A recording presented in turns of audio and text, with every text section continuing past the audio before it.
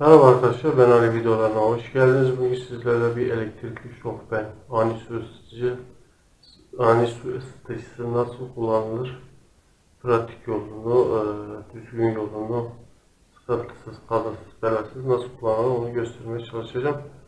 Öncelikle e, şofbenimizin elektrik girişi olması. Herhangi bir prize de bağlı olabilir. Veyahut da direkt bu alttan da alabilirsiniz. Evet. Elektriğimiz bağlı olduktan sonra e, elektrikli şofbenimizin duş başlığı şofbenimizin üst tarafına geçmeyecek. Bakın. Şu şekilde. Yani bu şofben daha üstte olacak. Ki rahat çalışabilsin. Daha sonra şofene iki tane su girişi var. Birincisi soğuk su. Buradan soğuk su girer.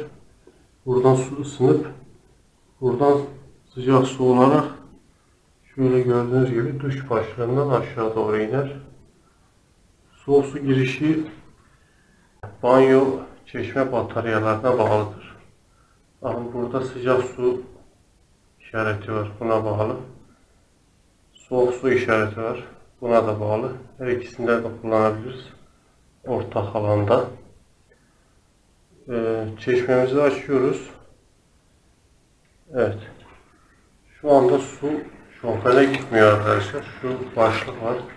Kimilerinde böyle düğme şeklinde yukarı kalkıyor. Bunu yukarı verdiğimiz zaman buradan su kesiliyor ve su duş başlığından geliyor arkadaşlar. Suyumuzu açtıktan sonra önce duş başlığımızdan su geldikten sonra şofbenimizi açıyoruz arkadaşlar. Suyun sıcaklığına, derecesine göre kaç numarada istiyorsak 1, 2, 3 numara hangi ısı derecesini istiyorsak onda şofbenimizi açıyoruz. Şu an 1 numarada bir ışık yandı. 2 numara yattım. 2 ışık da yandı. 3 numara yattım. 3 ışık yandı arkadaşlar. Şu an en yüksek seviyede. Sonra suyun sıcaklığını buradan kontrol edebiliriz.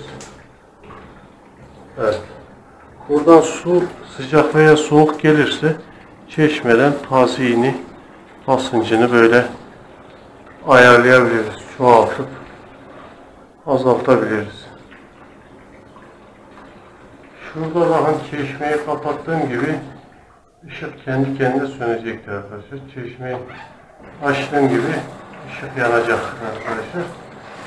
Şofbenimizin bu özellikle olmasına dikkat edin. Bu çok önemli. Ben şu an çeşmeyi kapatıyorum. Evet. Şofbenim söndü. Evet tekrar açıyorum. Evet şofbenle işiniz bittikten sonra sıcak suyla duşla öncelikle buradan şöyle burayı sıfıra getiriyorsunuz arkadaşlar. Artık su ısıtma işi bitiyor. Ta ki ne zamana kadar?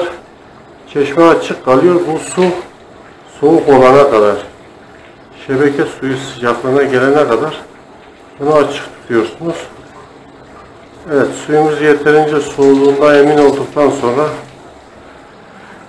çeşmemizden kapatıyoruz. Bu niçin önemli? Chopin'in daha uzun ömürlü olabilmesi için bu önemli. İçinde sıcak su kalırsa genleşme yapar, içindeki malzemelere zarar verir. Evet, elektrik Chopin bu şekilde kullanılıyor. Kanalımıza abone olmayı unutmayın, beğenip paylaşmayı, yorum atmayı unutmayın. İyi günler, kolay gelsin diyorum.